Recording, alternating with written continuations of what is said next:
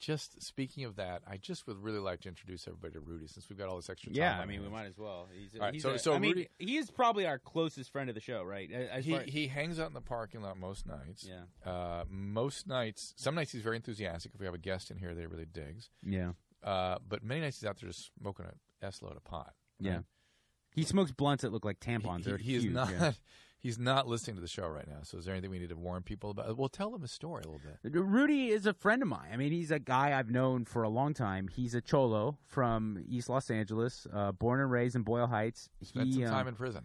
he spent over half his life in prison. Yeah. He's in his early 40s. He's been in prison well over 25 And years. he's got a wife and a bunch of kids. Yeah, a bunch uh, of kids.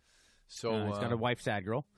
And uh, he has never left Boyle Heights except to uh, go to jail. So, I mean, that's Rudy in a nutshell. But he's got a heart of gold, wouldn't you say, Drew? he- he- I, I like Rudy. I've always Yeah. liked Rudy. So Rudy. let's, uh, let's get Rudy. Rudy, Rudy. Oh, here he comes. Okay. Hey, what's up, dog? Hey, Rudy, how's it going? Hey, like, uh, you know, I'm just like, uh, I'm kind of like, I'm a little confused because, like, I mean, you're not like talking to nobody on the. No, on I know we had we had some phone or phone we had some phone trouble, so we thought this would be a chance to introduce you to uh, everybody. We have a lot of new listeners tonight. Where at? Like, uh, Oh. like El Monte, No, not El Monte.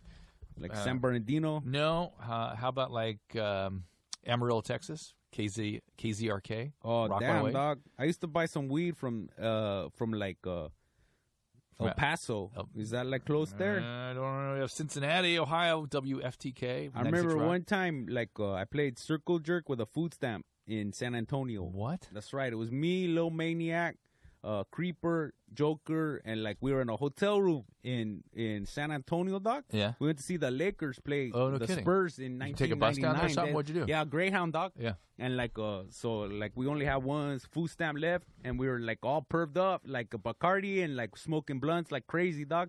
And so we decided to do like soggy biscuit with a food stamp. Oh my God. It was crazy. Hey, listen, I, I was trying to explain to our new listeners about your experience in prison, and um, you know your thing with your cellmate Tr- Trucha. Is that his name? That's right, Trout. Dog. They call him the Trout. I never learned why, dog, but they call him Trucha. And like, um, he was nice to me at first, but then he blasted my butt like real hard. Like he was like he raped you, I guess like you could call it that, but like he just did my butt all good. and it kept going, right? well, like For a while. I like I told you, dog, I got like Stockholm butthole. Oh. Like, cause I start.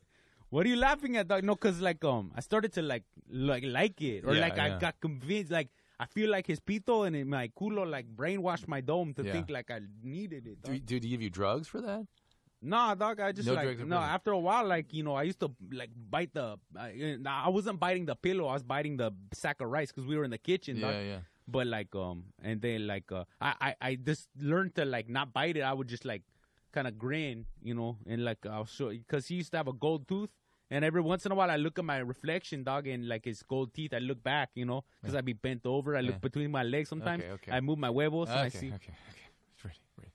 So, Rudy, here's the deal. We, uh, we we have now some calls. Mm, Thank you for joining us, clean, eh? explaining your stuff. Hey, I just want to say, like, um, to all the listeners all over the world, like up in Canada or whatever, and like New York, eh, like um, Nueva York, eh, like uh, Atlanta, dog, like the dirty South, dog, or like whatever's in Minnesota where your your your urine it freezes Yeah, sometimes, if you get yeah. too baracho, you know. Yeah.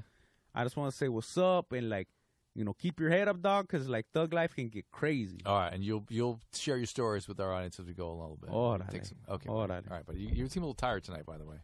No, I get my kids kept me up all night, dog. Yeah. All right. we'll right, talk about it later. All right, Mike, yeah. Mike, in here. Mike, Mike. Hey, buddy. Hey, dog, real quick. What? You know what's crazy? What? Barry Manilow's white. Yeah. Damn, I never knew that, dog. What'd you think? Oh, I don't know, man. All right, Rudy. See you later. Take care.